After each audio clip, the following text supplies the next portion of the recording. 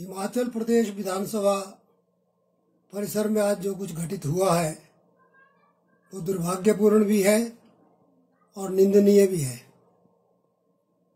राज्यपाल महोदय एक संवैधानिक पद पर हैं। वो भारत के संविधान के संरक्षक हैं प्रदेश में। उनके साथ ऐसा व्यवहार, उनकी कार को रोकना, रास्ता रोकना अत्यंत दुर्भाग्यपूर्ण भी है, निंदनीय भी है।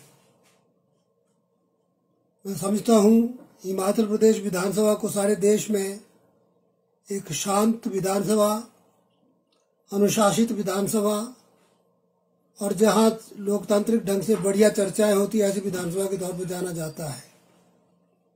आज के इस घटना के बाद निश्चित तौर पर लोगों की राय पर असर पड़ेगा। मैं चाहता हूँ कि विधायकगण इस वीडियो को फिर देखें, जो विधानसभा से मिला है, और सोचें।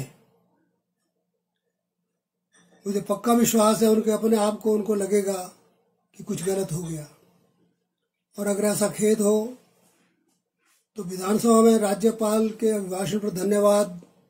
प्रस्ताव से पहले खेद व्यक्त करके खुले मन से, सच्चे मन से जनता की समस्याओं को उठाए, चर्चा करें, ताकि भारत वर्ष में जो हिमाचल प्रदेश विधानसभा की गरिमा है, वो बनी रहे, सम्मान बना रहे।